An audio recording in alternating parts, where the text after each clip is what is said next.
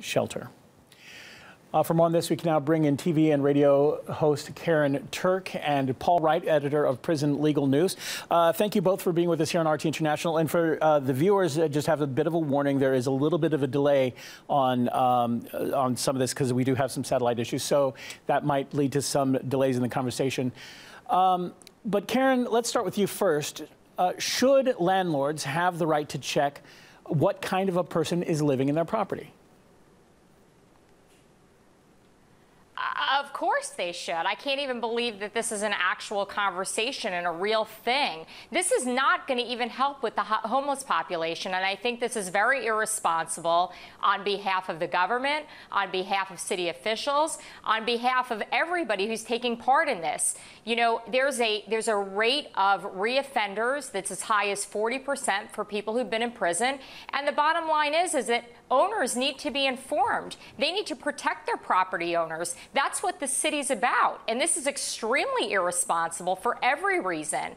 You know, owners should be able to make informed decisions about who they're renting to. This is a safety concern, and civil liberties should not trump people's safety. We have freedom in America, but you know what? We can't just bend into PC culture and worry about offending people. And this is not a solution to the city's problem.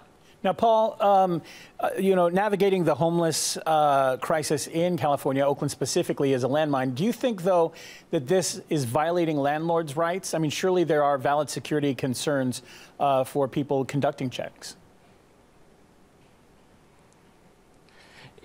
You know, I think that part of the problem, though, is there's not really a correlation between people's criminal history and also there's their uh, levels of, reoff- of reoffense and also any public safety issues. One of the things that we know is that not having a job and not having a place to live increases recidivism rates and in fact endangers public safety. And having actually been a landlord myself and a renter myself over the years, I would say that as a landlord, the main thing I've been concerned about is uh, can a tenant can they pay the rent and are they going to tear the place up and if the answer is no to both of those questions then I think you probably want them as a tenant. And the reality is, we have 70 million convicted felons in the United States. That's almost a third of the population. Uh, so I think that if you start excluding people just on the basis of a past criminal history, which isn't happening because we don't have 70 million homeless felons in America, um, then I think that um, you need to be looking at what the actual basis is.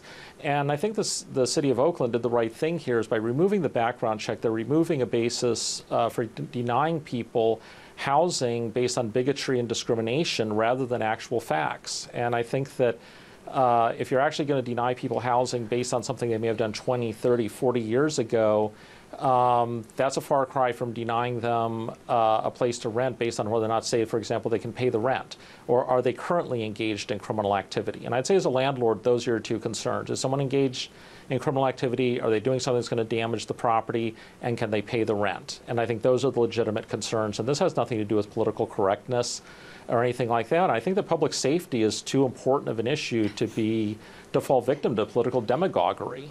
Karyn, what say you to that? I, I totally disagree. And this is all about the PC culture we live in. And this is all about, you know, just an agenda that we're so worried about offending everybody that we're putting our own safety at risk as Americans. And it's something we have to take a good, hard look at. You know, there are plenty of people that have blemishes on their record. I happen to be one of them.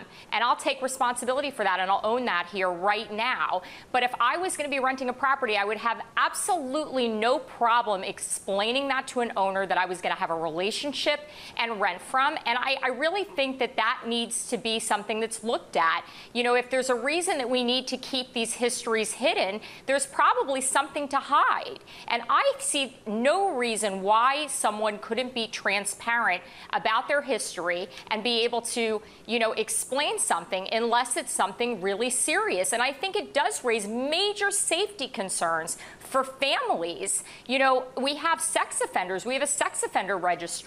I don't know how Oakland is planning on using that.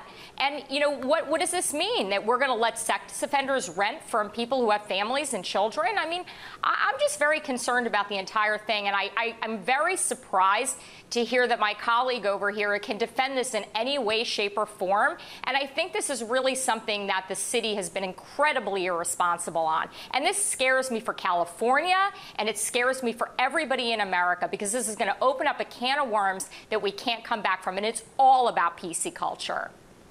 Well, Paul, uh, the fine for breaking this new rule is $1,000. Uh, will that be enough to stop people from doing background checks, given that an average one bedroom apartment costs more than uh, $2,150 a month? I don't know if it's going to deter them, but I think that this is also a thing too. Again, uh, I have to disagree with Karyn that I don't think this has anything to do with uh, political correctness because I think you know we have laws that also prohibit discrimination based on race, based on gender, uh, in some cases uh, based on sexual orientation, on religion, and things like that. And I think that it's one thing. Uh, to say that you know property owners have a right to rent to whom they wish to, and another one that if they're going to be renting, they have to comply with laws that prohibit discrimination. And I think there's a difference between um, between having laws that allow for bona fide or legitimate concerns versus those that are just the basis for the landlord's uh, bigotry or prejudices. And I and one of the things too, I'll note that the Oakland law does contain except, exceptions for sex offenders, people on, on the California Sex Offender Registry, and it also excludes uh, federal uh, federally subsidized housing, which allows for the exclusion of people with certain drug offenses. So it's not quite exactly a blanket um, thing. And I, and I agree with Karyn, though, when she says about, you know, wanting landlords to have a relationship or know who their tenants are. But the reality is, a lot of landlords are corporations, they're not individuals. And these are policies that are being set by corporate offices who rent hundreds or thousands of units around the country. And I think those are going to be the entities that are most impacted by, uh, by a law like this. And again, you know, why are people being deprived of housing? And I think it gives, if the landlord can find a legitimate reason to deny someone a property to rent to them, they're still able to do that. They just can't use a blanket issue like a felony conviction uh, or the background check itself as the basis to deny housing. So I don't okay. think it's nearly as far reaching as I think so, uh, some people may think it is. Karyn, um, if I can jump in here, there is a homeless crisis in uh, ah. California, and there also is uh, rising costs, and there are a lot of corporations. Um, doesn't the government have um, a responsibility to try and mitigate this to some degree and set some laws to make it easier for these people? Yeah, I mean, but I think this is backwards. That would be exactly the reason why some of this might be federally subsidized housing, which is exactly what's being excluded from this. How does that make any sense? This is the most backwards thing I've ever heard. And to call this bigotry is completely wrong. There's a really big difference about excluding somebody based on race or religion or sexual, you know, preference, which are not choices. You know, people who have committed a crime have made a choice, maybe a bad choice, maybe something that they're sorry for, maybe something that they go back and they live a great life afterwards. But again, this is totally irresponsible to call this bigotry. This is not bigotry. It's not the same thing. Discriminating against someone because of a choice that they made to commit a crime is entirely different than excluding somebody based on race. How can we make that comparison? And this is not going to solve this crisis. And I think that's why I'm so upset about this. This is really backwards. The federally subsidized housing housing maybe would be somewhat of a solution for this because these people who are homeless are going to have a hard time renting no matter what. A lot of them are not working, they are not employed, they do not have the income to substantiate these rentals, and it's irresponsible to the owners that are paying taxes and supporting this city. It's just completely the world gone mad. Uh, Paul, uh, under the Fair Chance Housing Ordinance, uh, Karen brought up a point earlier. I want to point out that landlords can still check whether a tenant is on the state sex offenders register or has a conviction for producing methamphetamines. Should those people be treated differently? Um, I really don't think they should. And I think that, again, what people did in the past is one thing. What they're doing at the moment or now is another thing. And I think that um, you know, in that again, everyone needs a place to live. I think if you believe that uh, housing is a basic human right, then how are you going to accommodate that? And by excluding people from the rental markets based on uh, prior criminal convictions, um, you know, I, I, think that that's that's part of the problem. And in fact, what's one of the things that we see right now when uh, let's use California as an example, since that's what we're talking about. Tens of thousands of people were convicted of possessing marijuana. And, uh, over the decades until recently when marijuana was legalized. Are you going to use um, those criminal convictions for marijuana possession or marijuana production or distribution when it was a crime? Are you going to use that as the basis to exclude people from housing today when that same activity is legal?